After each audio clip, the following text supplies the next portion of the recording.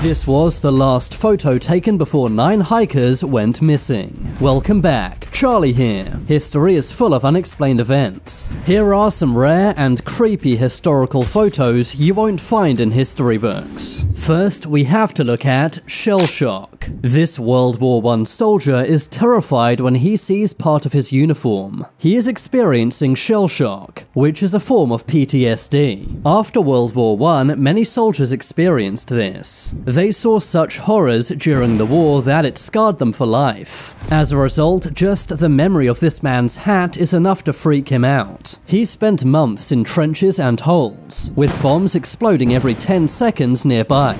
This would happen for hours or even days at a time, gradually making their neural systems dysfunctional. Sadly, many people experiencing shell shock were actually executed by their own armies. That's because their armies thought they were cowering, when in reality they were experiencing mental distress. Take a look at this famous photo called The Eyes of Madness. It shows a shell-shocked soldier in 1916. The soldier has gone insane by what he's seen, to the extent that he even seems happy in the photo. Many soldiers experiencing shell shock could never walk again. They also had trouble sleeping, eating, and doing other things. That's because their brain was forever changed by war. Even today, soldiers in war experience PTSD and shell shock. Next, we have to look at the Dyatlov Pass incident. The Dyatlov Pass incident is one of history's most unexplained events. In 1959, nine experienced Russian hikers went missing and passed away, all under very mysterious and unexplained circumstances. The hike took place in the Ural Mountains. They established a camp, but during the night, something caused them to leave their campsite. We know they were wearing very little clothing as they left it behind. They then ventured into the heavy snow and sub-zero temperatures for unknown reasons. When their bodies were discovered, it was found six of them had passed away from hypothermia, while the other three had been hit in the skull, suggesting that someone or something took their lives. But the mystery got even deeper when their cameras were found. This was the last image taken by one of the hikers. It shows a large figure peering out from some trees. Some call this a monster or a yeti. It appears to be large, dark, and hairy. Another photograph from one of the hikers shows an orb in the sky. The Dyatlov Pass incident remains unexplained to this day. Some believe an avalanche could have been responsible for the hikers passing away, while others say it may have been a living being like an animal or human. But despite all of the documentaries and research articles, we still don't know what happened on that fateful night in 1959. Moving on, we have to look at Colonel Anthony Bedell. This photograph may look like a scene from a John Wick movie, but it actually shows a real-life US Army colonel. The man at the center of this image is Colonel Anthony Joseph Drexel Bedell. He was a hand-to-hand combat expert, known for ordering trainee Marines to try and kill him with bayonets. He would then disarm them all. That's right, this man was able to disarm around 20 people at once. This image was taken in 1943, but over the years he would do this to all trainee Marines. Colonel Bedell has gone down as the USA's best hand-to-hand combat expert ever. He learned close quarters combat when he was a young man.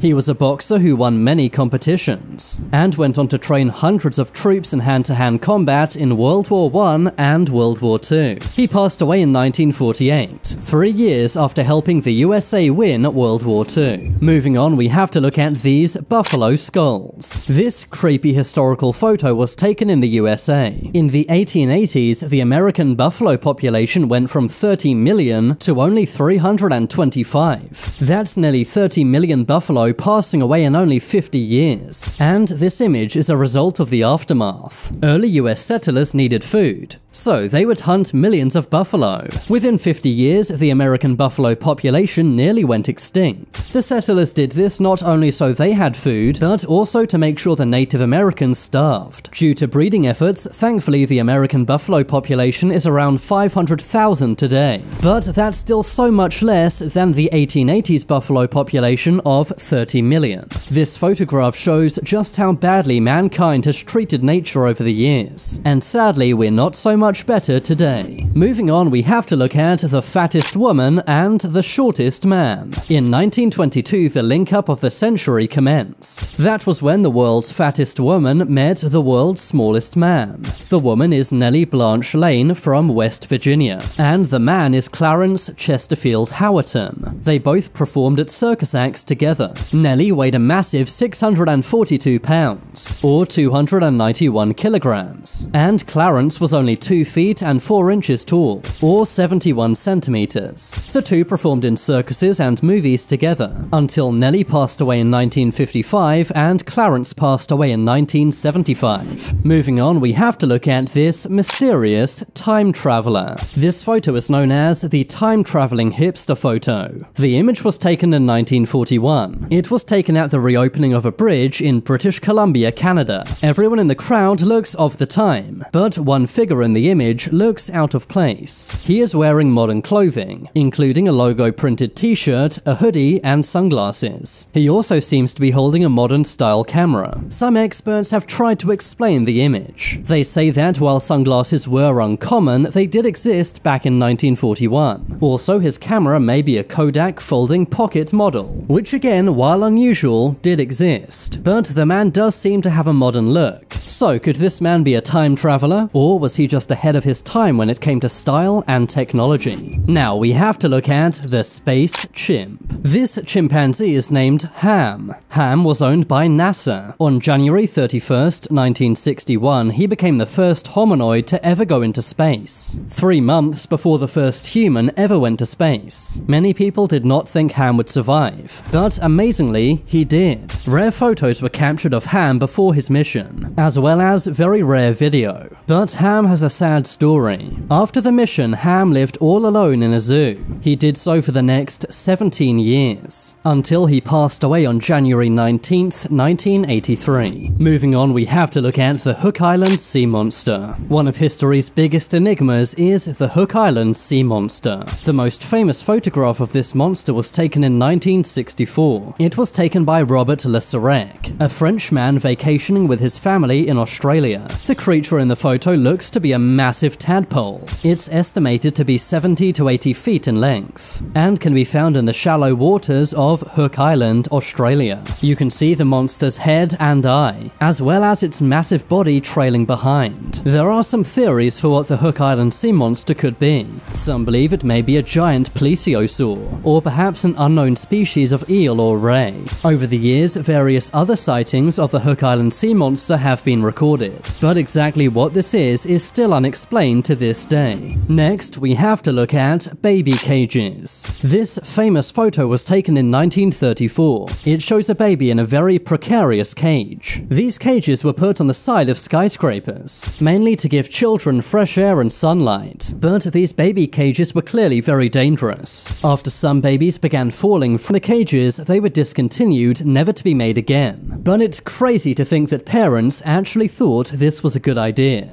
If that wasn't wild enough, take a look at this historic photo from the USA. This is a real baby safety seat on the outside of a car. This photograph was taken in 1952, and surprisingly for some years, these were actually commonplace. You just have to hope no one T-bones your car. If that happened, your baby would almost certainly not survive. Next, we have to look at the Bazooka Vespa. Vespas are a fun and easy way to get around a city, but it turns out they're also an easy way to blow up your enemies. This is the Vespa 150 TAP. It was an anti-tank scooter built in 1956. It is the world's deadliest moped. It had a 3-inch cannon that could fire a missile at enemies. These were used by French paratroops. They were used in Algeria and in the Second Indochina War. Finally, let's look at swimming masks. This photo looks incredibly creepy, but it's actually a normal woman taking a dip in the 1920s. Women would wear these masks when they swam. This was mainly to protect their skin from the sun, but today she looks like a creepy killer, or maybe just a Mexican wrestler. But now it's time for you to make your voice heard. Comment down below which of these historical photos was the most creepy. If you want to see my short videos, then subscribe to my second channel. I've been Charlie, thanks for watching. Leave a like if you enjoyed, and if you haven't already then what are you waiting for? Subscribe to Top 10s.